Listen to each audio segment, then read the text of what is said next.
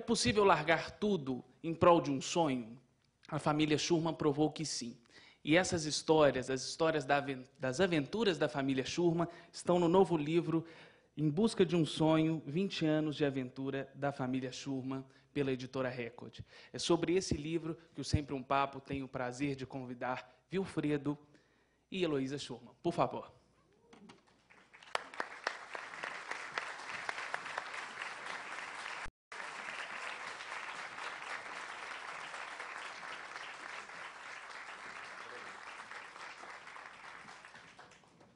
Boa noite. Boa noite. 22 anos de história em alto mar. Tem muita história, né? Vamos contar um pouquinho? Podemos começar, né?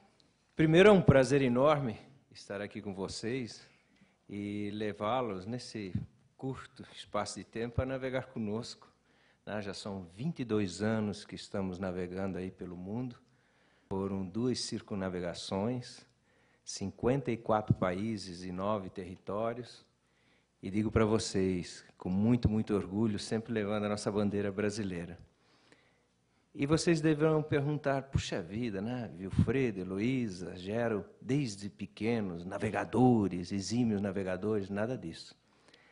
Nós começamos em 1974, com 25 anos. É, morávamos em Florianópolis, no centro da cidade, Nunca tínhamos entrado num barco à vela e recebemos um convite para passar uma semana no Caribe. Vou confessar para vocês que eu nunca tinha saído do Brasil. Para mim foi assim uma experiência fora de série. E quando nós chegamos lá no Caribe, em San Thomas, que eu olhei pela janelinha do avião assim, eu vi aquela aquele azul do mar profundo, né? Aquela, aquela ilha toda verde, as praias de areias brancas, aquilo me fascinou. Bem, saímos do avião, tinha um fusquinha à nossa disposição e uma pousada, né? Até tínhamos uma pousada. Fomos para a pousada. No primeiro dia nós demos uma volta na ilha, a ilha pequena. No segundo dia nós fomos à praia, né? como qualquer turista. E no terceiro dia nós estamos caminhando assim, de mão dada, na orla, cheio de barcos, né? Era veleiros, lanchas. E eu olhei e passou um veleiro, né? um catamarã, e passou com umas dez pessoas. Estava escrito Day Charter, né? um veleiro de turistas. Né?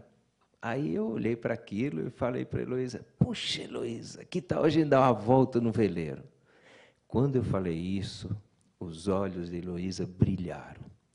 Heloísa é carioca, e ela assim, Vilfredo, lá no arpoador pequeno, eu olhava lá aqueles veleiros navegando. Eu sempre tive um sonho de dar uma volta no veleiro. Eu assim, puxa, se é seu sonho, para mim é uma aventura. Vamos lá perguntar. Aí foi uma companhia de charter, eles disseram, olha, é de charter, hoje não dá mais. Mas amanhã vocês vêm aqui. Eu digo, não, então marca aí, bota na, na lista aí para a gente participar amanhã de, dessa navegada. Eu disse, não, não tem problema, é baixa estação.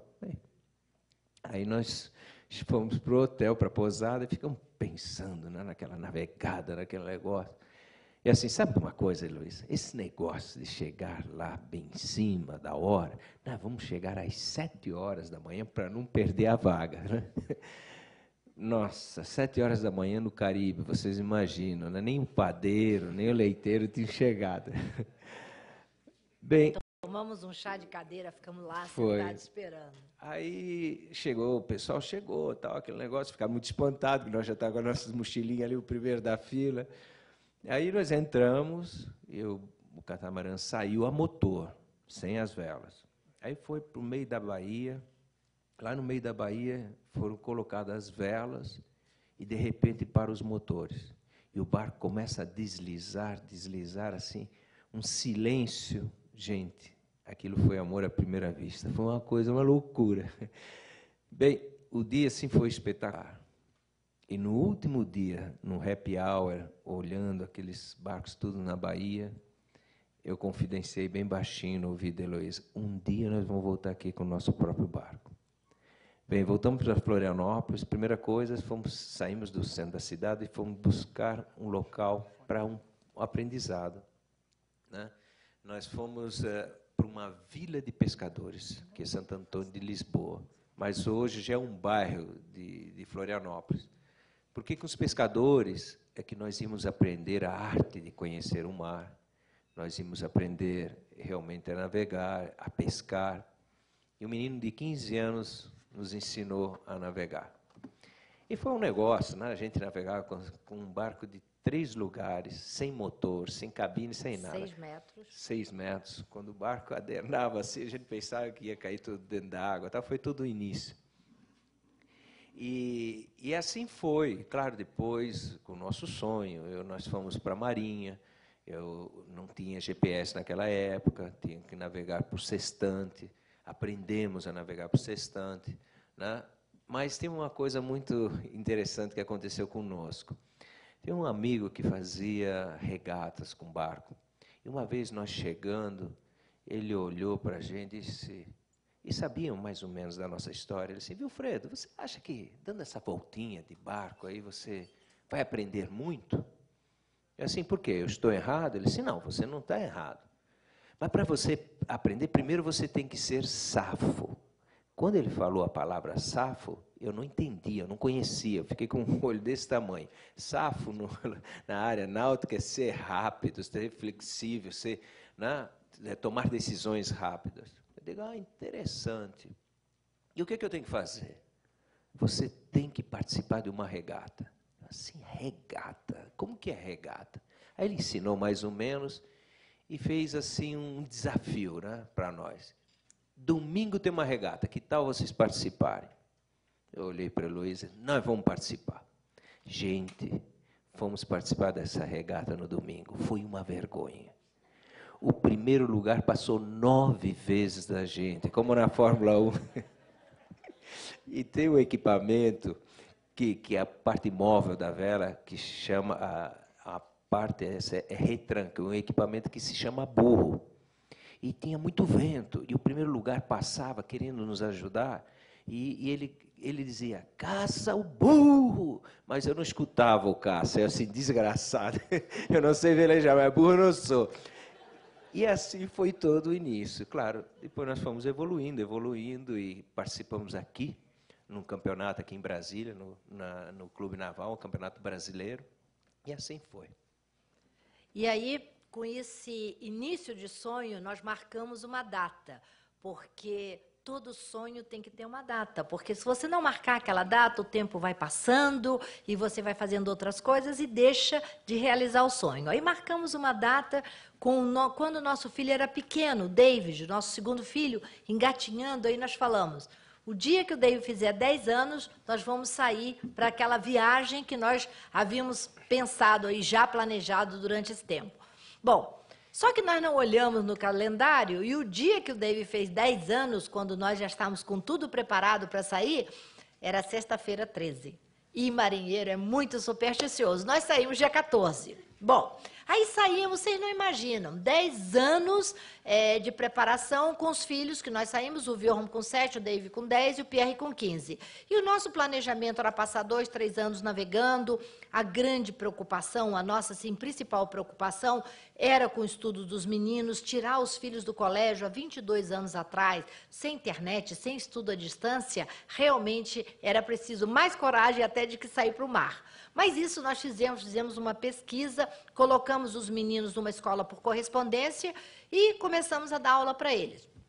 O mais estranho é que, além de pais e professores, as nossas funções mudaram. Passamos a ser professores. Então, a aula de matemática, Wilfredo, economista, né? acostumado a lidar com pessoas nos bancos, nas empresas e tal, dava aula de matemática e aí gritava. E o David disse: matemática agora chama-se mategritma. É a hora que o pai grita na matemática. E assim, a nossa vida mudou completamente. Passamos a navegar e nós tínhamos esse planejamento de passar dois, três anos e nós passamos 10 anos no mar. Foi a vez também dos nossos filhos saírem. O Pierre, com 18 anos, saiu, desembarcou na Nova Zelândia, ah, na, nos Estados Unidos, foi estudar administração. O David, com 16 anos, desembarcou na Nova Zelândia, estudar cinema. E o filho mais novo, o Wilhelm, fez os 10 anos conosco e, lógico, depois de 10 anos navegando, ele se tornou windsurfista profissional. Ele resolveu correr o mundo com seus próprios patrocinadores, que é a profissão e a paixão da vida dele. Bom, lógico, depois de toda essa mudança de vida, nós pensávamos em continuar vivendo no mar e do mar. E aí começamos a pensar, à medida que nós navegávamos, nós trabalhávamos, escrevíamos é, artigos para as revistas americanas, as revistas inglesas e jornais brasileiros, ganhávamos dinheiro também trazendo amigos para navegar conosco, que a gente chamava de amigos pagantes, né? Eles vinham, navegavam conosco, eram amigos que ajudavam financeiramente. E assim passaram os 10 anos e nós já começamos a pensar em continuar essa vida. Foi quando nós lemos a história de Fernão de Magalhães, o grande navegador, que em 1519 saiu com cinco naus e fez a volta ao mundo. E foi aí, inspirado na história dele, que nós resolvemos continuar navegando, refazendo a história de Magalhães. Bom, chegamos de volta ao Brasil depois de 10 anos, a família falou: agora vocês vão viver numa casa e ficar sossegado. Aí disse: não, agora nós vamos planejar a segunda viagem. E assim, nós passamos três anos é, planejando e saímos na segunda viagem. Nesse meio tempo também, nós adotamos uma menina chamada Cat, que se tornou a nossa nova marinheira. Nós a adotamos, ela tinha três anos e com cinco anos ela partiu conosco. E nós passamos dois anos e meio numa viagem totalmente nova, inovadora, com essa coisa chamada internet, é, transmitindo diretamente, passando para as pessoas, em vez de esperar dez anos para mostrar o que a gente fazia, mostrando é, todo mês era o programa de televisão, acompanhamento com 2.500 escolas nos Estados Unidos, 500 escolas no Brasil, transmitindo direto. Então foi assim uma mudança total. Mas ao mesmo tempo nós unimos o trabalho, né, e o prazer de velejar. E aí fizemos a viagem dos 10 é, desses dois anos e meio, voltamos para as comemorações dos 500 é, anos do Brasil. Complementar, Heloísa, nós, eh, nessa, nessa viagem, nessa última, nós eh, desenvolvemos um programa educacional eh, em nível internacional, ensinando a matemática através da navegação, história, geografia, literatura. literatura.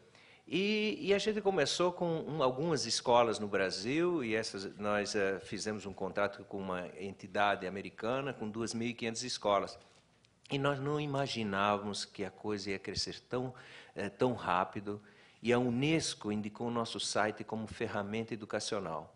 E, gente, nós tivemos 44 países acompanhando. Nós tínhamos intranet dentro do barco, cada um na sua cabine com seu laptop. Foram 35 milhões de page view, entende que nós tivemos. Eram uma loucura, 39.560 e-mails, para vocês terem uma ideia. E a coisa foi muito, foi muito interativa, porque ah, nós temos uma equipe de 11 pessoas em terra, né? Eram pedagogos que recebiam todo esse material em 10 minutos, já estava para o mundo inteiro.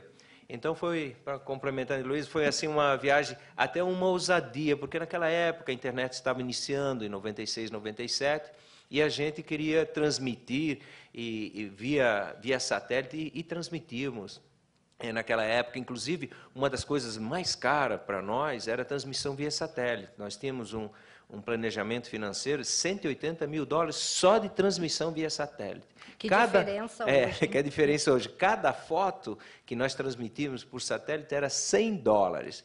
No meio do, da viagem, descobri um software francês que baixou para 30 dólares. Então, todas as inovações né, que nós vivemos, todas as aventuras, nós fomos, por exemplo, à Patagônia, é, nessa segunda viagem, fizemos a rota toda, fomos até a Europa. Então, passamos assim, dois anos e meio velejando. Agora, de todos esses lugares, de tudo que nos move a fazer essas viagens, o sonho, o principal é que a gente para nos lugares, conhecem, nós conhecemos as pessoas e as culturas. E é isso que nos enriquece. A natureza é maravilhosa em todos os lugares. Se a gente está na Patagônia, tem neve, tem os glaciares. Se a gente está na Ilha do Pacífico, aquele mar azul. Mas são as culturas que realmente é, fazem com que o nosso coração bata mais rápido. De chegar num porto, descobrir gente que ainda fazem dois anos que não viam uma pessoa de fora. E estranhavam, as crianças choravam, eles olhavam para o Wilfredo, eu, como tenho já uma corzinha morena, ainda passava. Mas eles, as, as crianças pequenas olhavam para o Wilfredo, ah! morriam de medo do Wilfredo. E nós tivemos situações assim, que a gente teve inusitadas, diferentes, e nós vamos contar aqui uma situação bem diferente. Eu vou contar para vocês, nós tivemos numa ilha chamada o grupo de Vanuatu, o arquipélago de Vanuatu. Hoje, inclusive, considerado pelo Instituto de é, Felicidade como uma das ilhas mais felizes do mundo. E realmente eles são. Não tem luz elétrica, não tem água encanada, não tem televisão, não tem posto de renda, não tem internet, né? não tem que pagar a luz, não tem que pagar impostos. Então, eles são um povo mais feliz. Mas, é, quando nós chegamos lá, São nós, 82 ilhas. São 82 ilhas, 102 dialetos. Imagina, o norte da ilha às vezes não fala com o sul da ilha porque os dialetos são completamente diferentes. E quando nós chegamos lá, nós fomos visitar na ilha de Tana, numa das ilhas, uma tribo que era uma tribo de pessoas que eram mais baixas. Quer dizer, qualquer pessoa mais baixa que eu, já considero pigmeu, né? Aí diz assim, era uma tribo de pigmeus. E elas estavam todas sentadas lá, e como a gente não conseguia se comunicar, né, veio um guia que veio conosco e começou a conversar e traduzir. E elas começaram a perguntar para mim. Ela disse: Você é boa esposa? Eu falei: Sou. Aí elas perguntaram: Seu marido é bom marido? Eu digo: É. Aí o guia me perguntava: Ele é bom de cama? Eu falei: É. E elas começaram a perguntar: Você é, gosta muito do seu marido? Gosto. Você é boa cozinheira? E começaram. E de repente uma delas falou e disse: Por que você tem os seus dentes todos? E de repente, olhando para as mulheres, algumas delas escondiam a boca quando riam. E as outras que sorriam com dois dentes da frente faltando.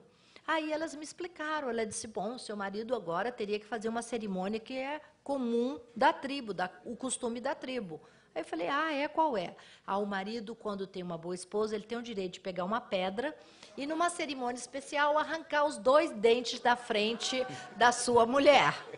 Aí eu olhei para elas e eu falei: Prefiro esconder a minha a minha boca. E o Wilfredo se abaixou para pegar uma pedra na hora. Eu falei, não, não vem com ideias. E isso é apenas uma das, é, assim, dos casos é, que a gente ah, teve a oportunidade de vivenciar. E Wilfredo vai contar para vocês sobre Samoa também. É, uma das coisas que nós fizemos quando chegamos no local, é, nós estudamos muito, não só em termos do, do, do, da história do local, mas até idiomas. Né? Um exemplo, Polinésia Francesa, Ioraná, Maeva, né? A gente chegava assim, falava isso para eles, bom dia, tudo bem? Nossa, o pessoal vinha de braços abertos, e isso quebra o gelo, é muito, muito interessante, sempre um presentinho, entende, para o chefe da tribo. Então, isso é, é importante em qualquer lugar. Bem, nós chegamos em Samoa, e Samoa, o que nós fazíamos também? Além de ler, eu e Luísa, quatro horas, cinco horas da manhã, íamos para o mercado, para a feira livre. Ali que nós íamos conhecer as verdadeiras histórias do, dos locais, onde os livros não contam né, certas coisas. E fomos para lá. E Samoa é gozado, porque Samoa tem gordura e formosura. Quanto mais gordo é um homem, mais atraente para as mulheres. Né? E, e, e eles usam sempre a canga. E nós estávamos lá na feira tal. E aí eu perguntei nós queríamos fazer uma filmagem, para vocês terem uma ideia, nós fazemos três horas de filmagem para cinco minutos de Fantástico, só para vocês terem uma ideia, tudo em filme, né? porque a gente íamos fazer um, um, um longa-metragem que vai, uh, dia 16 de março, vai estar em todos os cinemas brasileiros, e aí eu perguntei, olha, nós queríamos, existe alguém aqui nessa ilha, né, que é uma ilha enorme, tinha mais ou menos uns quase 100 quilômetros, existe assim um pouco uma vila que vive como seus ancestrais tal. Aí um olhou para mim, falava um pouquinho de inglês, disse, existe, do outro lado da ilha. Eu digo, puxa vida, então a gente vai de barco. Ele disse, não, de barco não dá para ir. Eu assim, por quê? Não, porque é no meio da ilha, o senhor não, não tem acesso para o barco. E como que eu faço? O senhor tem que alugar uma coisa. É isso que ele falou. Assim, uma coisa? Como assim? O senhor vai ver. E lá fui, vamos lá ver a, a coisa. Não era nem jipe, nem carro. Era uma coisa cortada no meio, uma roda pequena na frente, outra grande atrás. E, e aquilo se balançava tudo. E, tu, e, e nós tudo trepado em cima da, daquela, daquela coisa. E lá íamos nós em cada vila. Passávamos por uma vila E, e, era uma coisa, quando viam, né, as pessoas vinham na vila todas em cima do, do carro, naquela né, aquela coisa, e aí a gente já tinha uma técnica, deixava o pessoal até se acalmar, e depois começávamos a filmar, fazer umas filmagens. E passamos por uma outra vila e achamos estranho. Não tinha quase ninguém, só uma senhora, eu vi duas senhoras correndo com uma esteira na mão, um outro senhor de canga preta, um outro de, passou de canga preta também, mas estava bem num silêncio. Né? E aí eu perguntei para um jovem, perguntei, o que, que houve na ilha? Ele assim, Matai dead. Matai é chefe, chefe morreu. Assim, nossa. A gente tinha lido a história, né? bem diferente do Ocidente. Lá, quando você morre, vai para um outro lugar muito melhor. Eles fazem trocas, é, de comida, a mulher este, tece esteira durante a vida toda, depois dá de presente. E quando é um chefe, é mudança, tá? uma coisa assim espetacular. Né? E eu, eu olhei para aquilo e disse, Heloísa, deixa esse, essa coisa aí. E tinha uma casa, e ele me falou, olha, lá estão reunidos todos os chefes. Assim, deixa essa coisa ligada aí que eu vou botar um pariô uma canga, eu tinha uma canga preta, mas tinha umas bolas alaranjadas, dava para disfarçar um pouco. E coloquei um colar de conchas, muito bonito, que um chefe polinésio tinha me dado, da Polinésia Francesa. Coloquei aquilo e fui em direção a essa casa. Ela era toda aberta, né? toda de palha, assim, toda aberta em redor. E todos estavam sentados assim, em posição de yoga. Né? Lá, e lá fui eu, bem devagarinho, né? assim meio ressabiado tal. E quando eu cheguei na metade, né, que faltava mais ou menos uns 30 metros, eu escuto uma pessoa, entende, discursar, mas é, o discurso é de guerreiro. E eu assim, nossa, será que eu não estou entrando numa fria? Eu vou ou não vou? Fiquei aquele negócio. E aí eu vou, é, peguei e disse, voltei um pouco. Aí, Luísa, tudo bem? Tudo bem. Peguei e fui. Quando eu estou chegando perto, essa pessoa que estava discursando estava de costa para mim. Né? E as outras pessoas começaram a olhar para mim e, de repente, ele se virou. Ele olhou para mim de cima a baixo e perguntou rispidamente o que, que eu estava fazendo ali. Eu falei que eu estava vindo com a minha família. Ele cortou e disse: Da onde que você é? Eu assim, sou do Brasil. Ele franziu a testa e não se localizou. Aí eu complementei dizendo que eu estava vindo do outro lado do mundo com a minha família num barco à vela e queria levar toda essa cultura deles, os costumes, para o meu povo conhecer.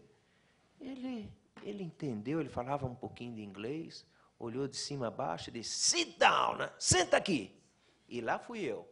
Ele estava na minha frente e eu me lembrei que um chefe polinésio tinha me dito: nunca passa na frente do chefe, que é uma falta grave por aqui. Aí eu peguei, olhei, e tinha um semicírculo na frente, que tem as pessoas sentadas, e tinha uma vaga. Eu digo, bem, eu vou me emboletar naquela vaga. No momento que eu sentei, gente, começou uma gritaria. Eá, eá. Eu pensei que era o fim. Eu pensei que viesse no meu pescoço, ia para o caldeirão, alguma coisa ia acontecer. Eu olhava lá do carro, ele com aqueles olhinhos assim, não, assustados. Eu olhava, pra, se dava para pular, correr e tal, mas não teve jeito. Nossa, aí naquele negócio, naquela confusão, de repente, essa pessoa se levanta, que depois nós soubemos que era um chefe, o Leota, e começa a discursar. A gente sabia um bom dia, uma boa tarde, alguma coisa, mas não sabia um discurso de um samuano. Ele gritava, ei, ei, ei, Brasil! Aí eu entendia tudo. ei, ei, Brasil! Gente, na terceira vez que ele falou Brasil, ele parou, olhou para mim e todos, todos eles assim para mim. Ah, e olhava. A minha adrenalina estava lá em cima, eu não sabia onde nem colocar minhas mãos, não sabia o que fazer. E ficava olhando, eu olhava, eu ficava olhando e tal. E ele sentou do meu lado, porque a vaga era dele, ele que era o chefe, eu sentei no lugar, e ele sentou do meu lado. E eu perguntei para ele, baixinho, o que, que houve? Ele é assim para mim: você fez a, a, falta mais grave que você podia fazer. Eu assim, falta grave? É. Você sentou no meio de dois chefes. Você quebrou, todos esses aqui na frente são chefes. Você quebrou um elo de energia de centenares de anos, que vai de família a família. Você jamais podia fazer isso. Aí eu falei, eu não sabia. Ele assim, eu sei que você não sabia, mas você estava vestido igualzinho a nós. E eu falei que você era um grande chefe no Brasil e que as energias iriam fluir a vida toda, não ia quebrar. Bem. A gente poderia falar a noite toda aqui, mas a gente também, nós queremos é, conversar depois com vocês, né? Heloísa também quer falar, quer falar mais alguma coisa, porque só, só eu que falo. Não, de jeito maneira nenhuma. E dessas viagens, depois que nós voltamos, em 2004 nós fizemos uma terceira viagem, aí dessa vez na costa brasileira. Saímos de Florianópolis até o último porto que nós havíamos passado há 20 anos atrás que foi em Fortaleza. E dessa maneira também, os nossos filhos foram revendo aquele Brasil de 20 anos atrás e a nossa filha Cat foi conhecendo um pouco do Brasil. E nós encontramos os nossos amigos, vimos as mudanças é, nesse Brasil. E uma das coisas assim que a gente nota muito é que, infelizmente, por mais que o Brasil, assim, é, as pessoas estão começando com essa consciência ecológica, é, há uma degradação muito grande, há uma poluição muito grande na nossa costa brasileira. É, plástico, é, lugares que você atravessa assim com muito lixo, e isso nos entristeceu bastante. Nós temos em Santa Catarina um Instituto Cat Schirman de Preservação e Educação Ambiental, que funciona desde 1997 porque a nossa preocupação é com o nosso fundo do quintal. Afinal, é lá que a gente nada, se diverte, mergulha e é onde a gente, né, é nossa estrada, que o barco nos leva aos lugares. Então, nós estamos fazendo o nosso trabalho porque a nossa preocupação com a natureza, num total, é muito grande, mas com o oceano é muito maior. Interessante, uma parte que eu li no livro, é como é que foi contar para a família que vocês iam largar tudo e enveredar para o mar? Olha, não foi fácil. Porque nós falávamos, mas não contávamos assim. Ah, vocês estão estudando navegação? É, porque a gente vai sair para navegar. E nós fazíamos viagem para a Argentina e voltávamos. O dia foi no Natal de 1983, reunimos a família toda e tal. E aí tomamos a coragem de contar. Nós já estávamos com tudo preparado, prontinho, era só mudar para o barco ali em abril. E aí nós falamos. Quando nós falamos, é, Wilfredo até ficou assim nervoso para dizer, olha, nós queremos dizer que nós vamos sair para viajar, mas antes de falar assim, que era para o barco, né? Ah, é, vamos sair para viajar? É, vamos sair para viajar, mas nós vamos sair para viajar para dar a volta ao mundo no barco à vela. Nossa, mão na cabeça, todo mundo desesperado, todo mundo olhando, vocês são loucos. E as crianças, como vocês vão fazer? Vão levar juntos? E realmente houve muita oposição. Todo mundo achou que era uma loucura, que éramos irresponsáveis, que não ia dar certo e que nós íamos virar vagabundos do mar. Nós íamos largar a nossa profissão. Eu tinha uma escola que já tinha tido mais de mil alunos, 32 professores, um curso em inglês. Wilfredo é economista, né? então ele prestava assessoria para diversas empresas. Então, nós íamos largar aquela vida aos 35 anos, segura, é, que todo mundo, uma casa, que 400 metros quadrados, mudar para um barco de 40 metros quadrados. Foi um desacerto, todo mundo foi contra. Mas o sonho era nosso, a gente só dizia, o sonho é nosso e nós vamos realizar o nosso sonho. Quando a gente pensa em família Schurman, a gente acha que é uma família de golfinhos e que nasceu no fundo do mar, né? Agora, vocês não tinham nenhum contato, não sabiam navegar até que tiveram essa ideia. Como é que foi essa preparação que durou 10 anos? Não, nós não sabíamos navegar. Eu sou carioca, quer dizer, fui ali criada na beira da praia. E Vilfredo, apesar de nascer, nascer em Florianópolis, foi é. criado em Blumenau. Mas, como eu falei, a gente evoluiu muito. Foram 10 anos de aprendizado, isso foi muito bacana. Nós eh, participamos de várias regatas eh, no Brasil, depois no exterior no, no, embarcação de oceano, nós fomos duas vezes campeão brasileiro, e isso foi um aprendizado, mas sempre com aquele foco. Sempre com foco de. O que nós queríamos mesmo era dar a volta ao mundo, mas para isso você tem que se preparar. A gente sempre diz: a gente se, tem que se preparar em terra para sair para o mar. E é verdade. Muitas vezes hoje, com muita facilidade de equipamento, GPS, o pessoal sai para o mar e não tem nem ideia de que muitas vezes o mar Uh, recentemente, três meses atrás, né, eu uh, trazendo o barco uh, de, de Santa não estava de Santa Catarina até Santos, pegamos 115 km por hora de vento, bem perto de Peruíbe, a 20 milhas da costa. Um vento assim fortíssimo, entende? É a primeira vez que peguei um vento tão forte. E aí, num, num simpósio de segurança na Marinha, que nós sempre ministramos palestra, nós falamos, olha gente, vocês, muitos de vocês saem com um barquinho de alumínio e às vezes entra um vento desse. E para isso precisa estar olhando preparado. meteorologia, preparado. Então essa preparação foi importante que você falou, é, para e passo, todas as coisas. Ou seja, Heloísa foi para o hospital entende? Fazer curso de primeiros socorros. Eu fui para o dentista fazer curso de primeiros socorros se acontecesse alguma coisa. Né? E ela quebrou um, um, dente com uma ameixa e eu fui lá consertar. E com os filhos todos me ajudando. E tal. Então, isso dá mais é, segurança nisso para a gente. Né? Ou seja, em termos de, principalmente de você, no momento de uma dificuldade. Né? O treinamento, uma vez, gente, eu me joguei no mar sem ninguém saber.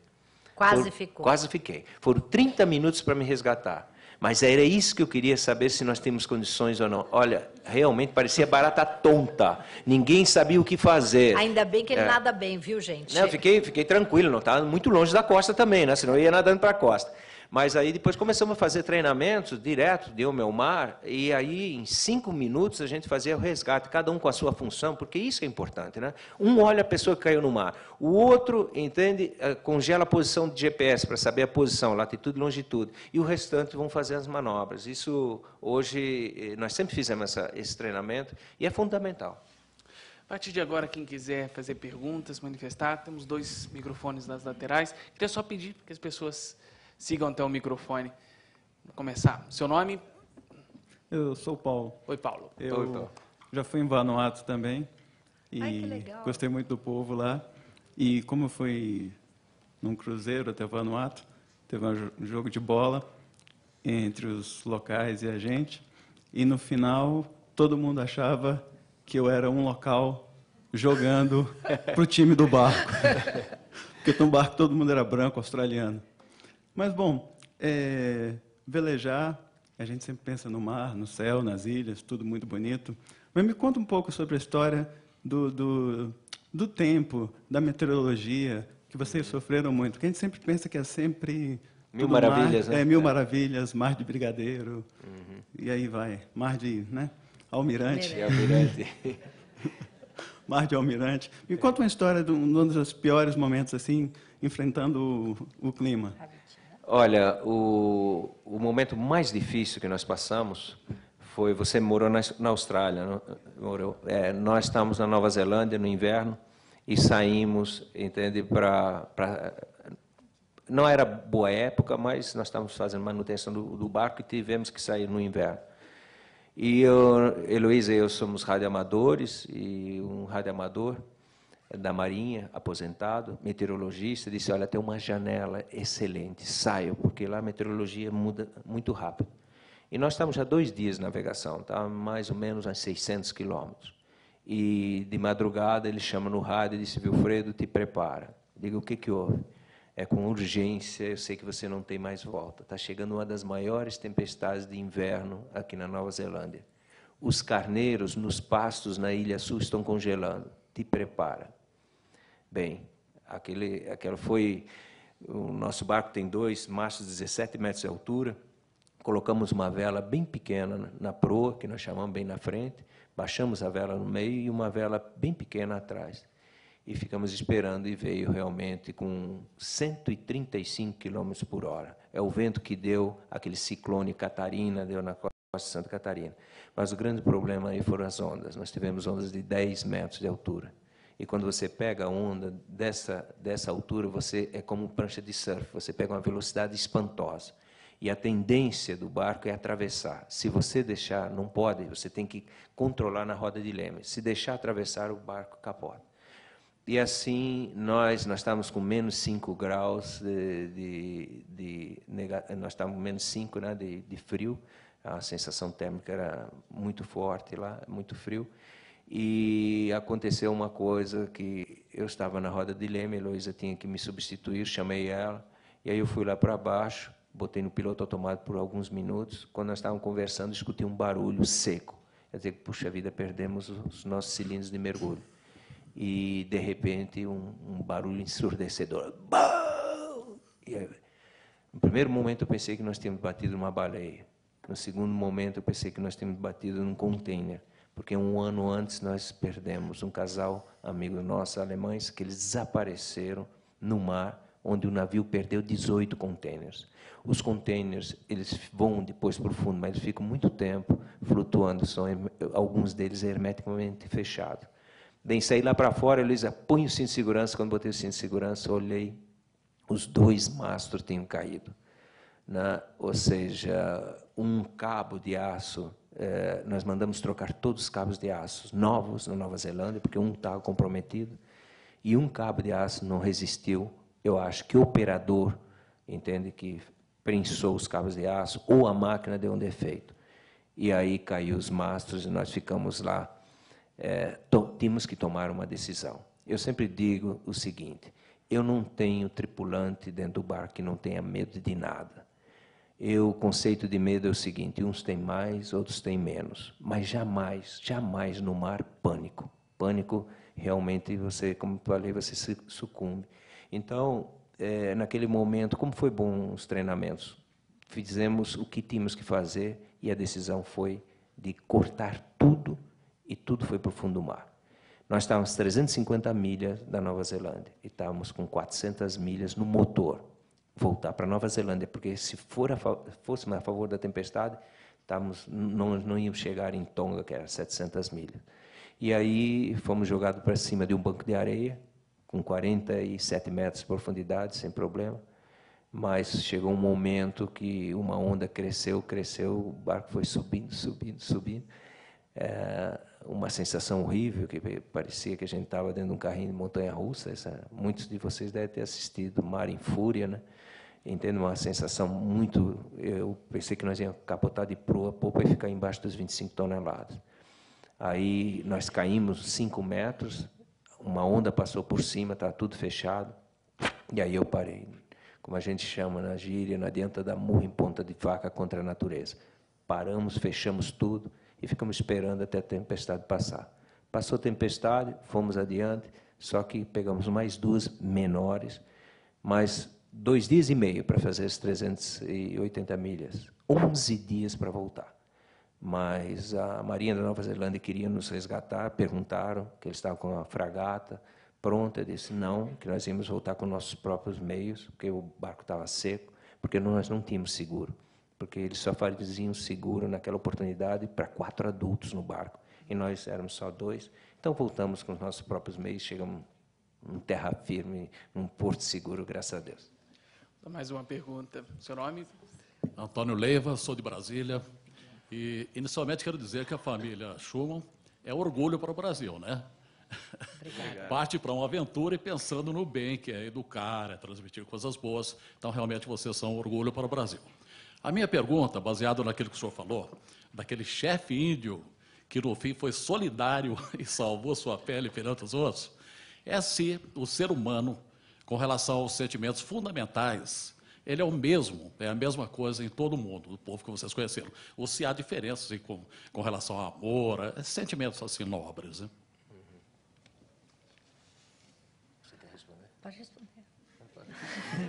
Senão só Não, eu respondo. É, o que a gente aprendeu, o que a gente assimilou nessas viagens toda, conhecendo mais de 45 países, é que a gente descobre que o ser humano é basicamente muito é, é o mesmo, é muito solidário.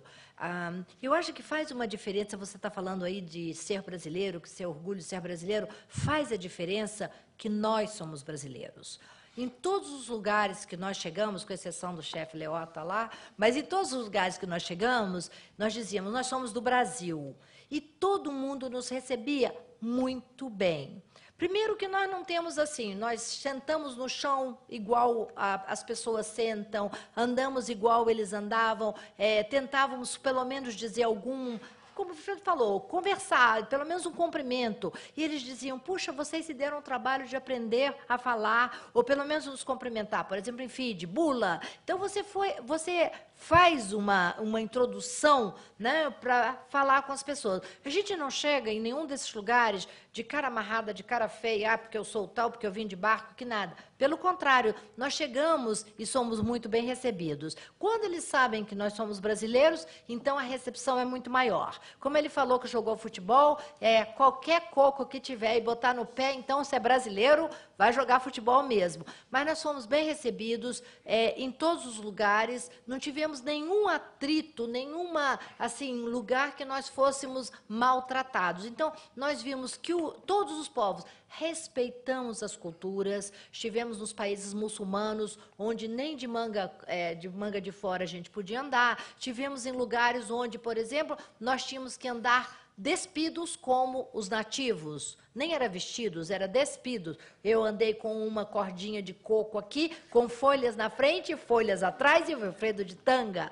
Então, nós nos vestimos de acordo com o, o digamos, a, a, roupa do local. Então, nós não tivemos problemas assim nenhum e vimos que se você respeita aquele costume, aquela pessoa, eles também lhe dão respeito. E, basicamente, as pessoas são muito receptivas, são muito solidárias. Se você tem qualquer problema, eles querem lhe ajudar e nós também ajudávamos as pessoas que precisavam. Então, nós tivemos é, esse privilégio de poder viajar, é, conhecer e ter esse contato com as pessoas. Nós passamos numa ilha, para você ter uma ideia, que moravam quatro famílias e nós estávamos passando ao largo e, de repente, a gente viu um uma luz, como se fosse uma luz. E o Wilfredo falou: vamos entrar, vai ver que estão precisando alguma coisa. Aí nós entramos, uma entrada difícil para entrar no meio dos corais e tal. Aí chegamos lá, pensamos que precisavam de algum auxílio, alguma coisa, que é muito difícil de chegar lá. E eles disseram: ai, que bom, estavam fazendo sinal, porque faz tempo que não passa ninguém aqui de fora.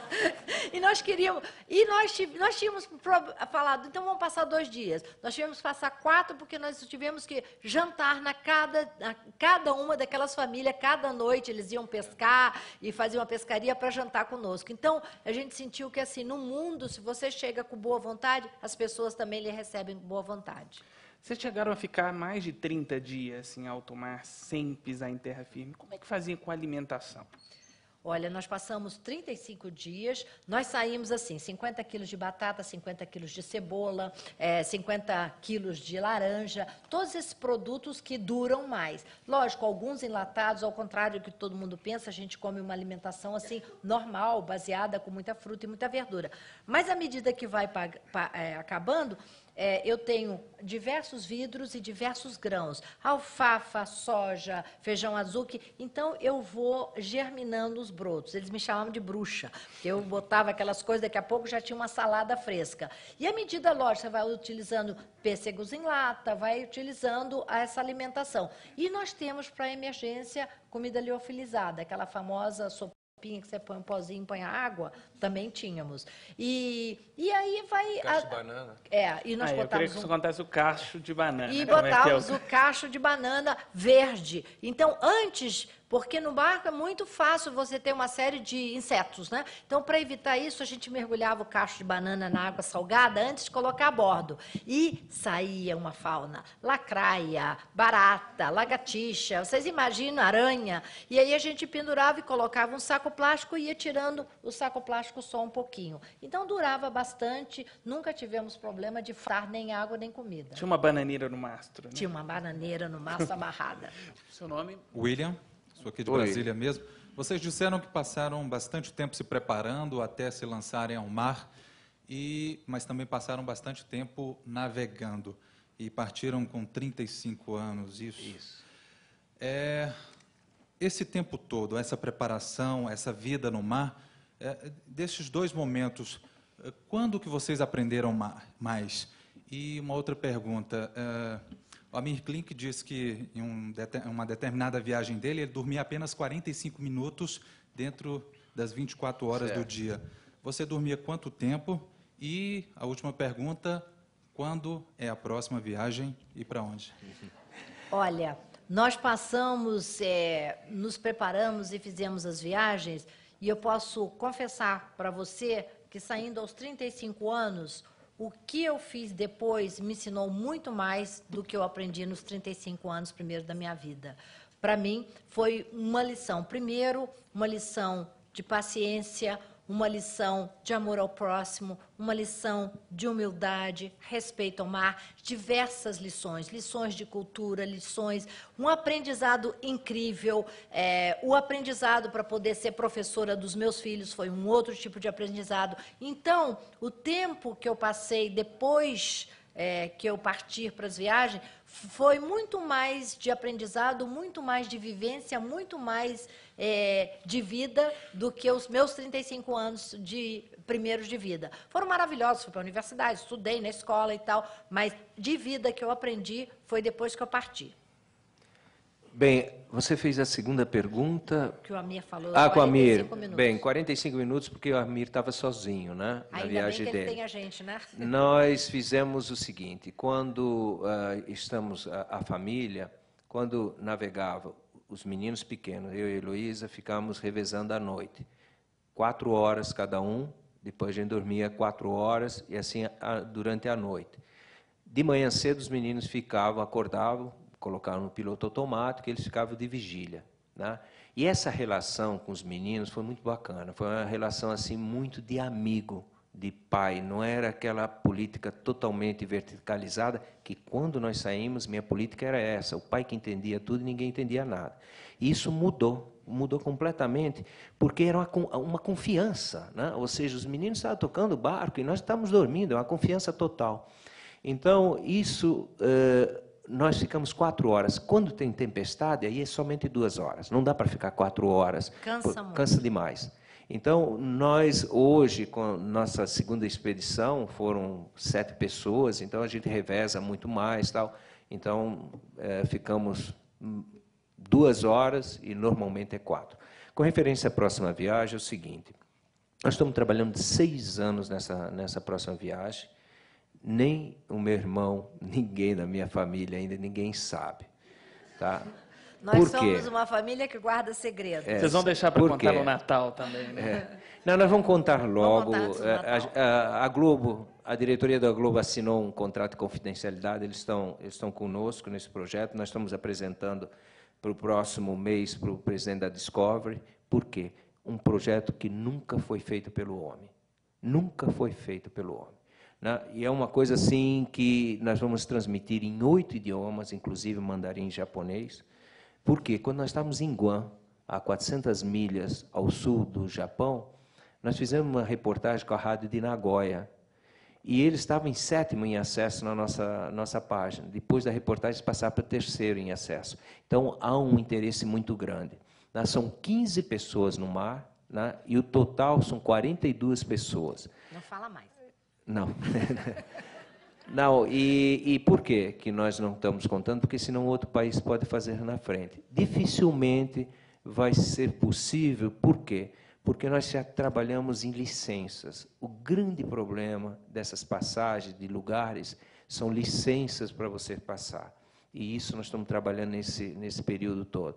Mas eu acho que dentro de uns dois meses nós estamos divulgando nacionalmente é, a, a nossa viagem que, como a Heloísa falou, vamos sair no próximo ano, em novembro, dia 1 de novembro, para um ano e oito meses.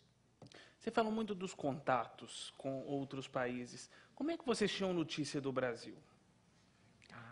Ah, nós tínhamos através do rádio amadorismo, né? e rádio, por, por, incrível que pareça, nós estávamos na Polinésia e daqui a pouco estava escutando a Rádio Nacional, né? hoje lá do outro lado uma oportunidade também de manhã, Rádio Gaúcha, né, de Porto Alegre e tal, falando um programa sertanejo, às seis horas da manhã.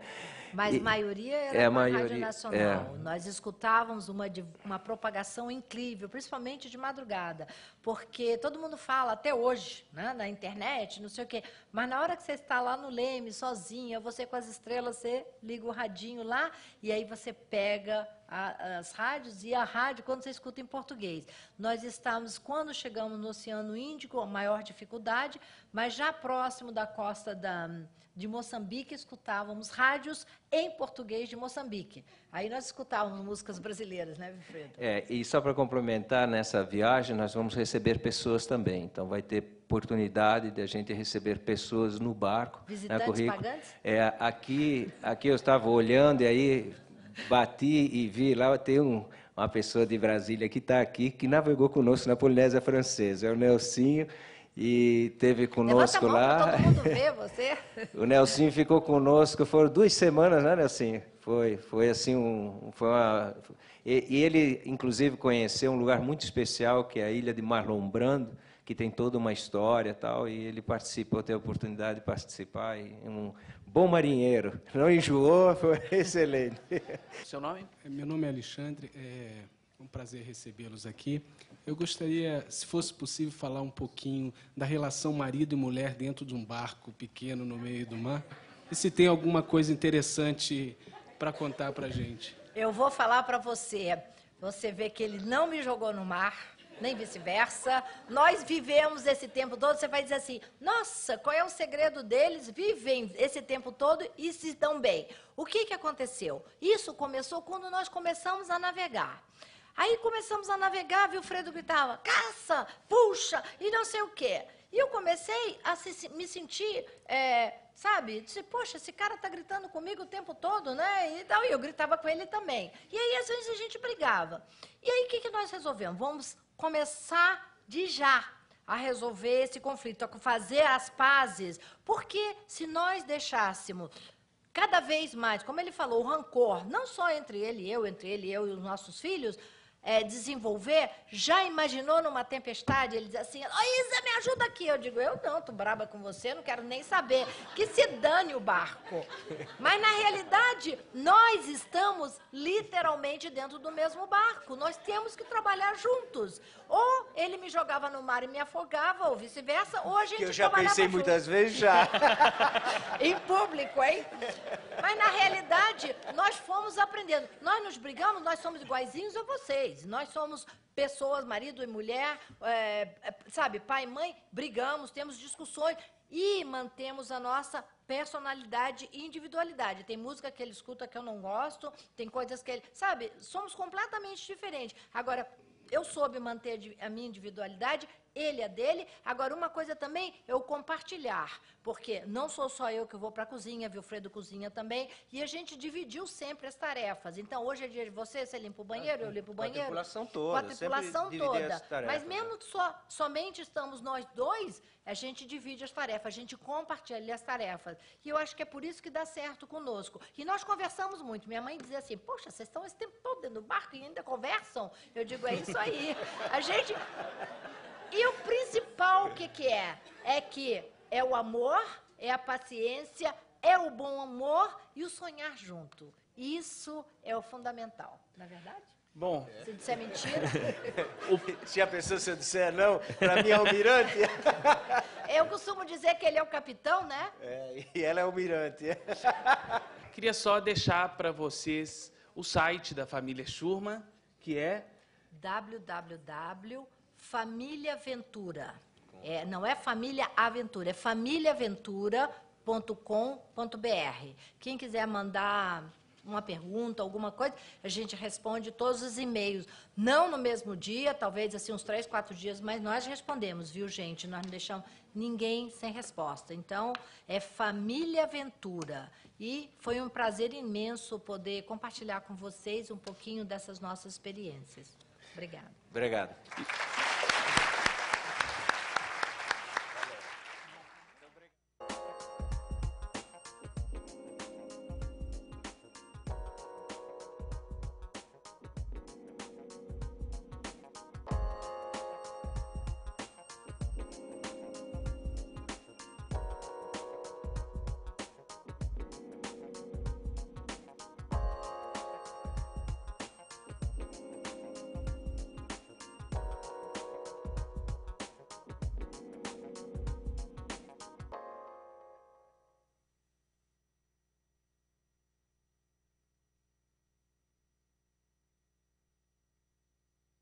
Definir que mentir, faltar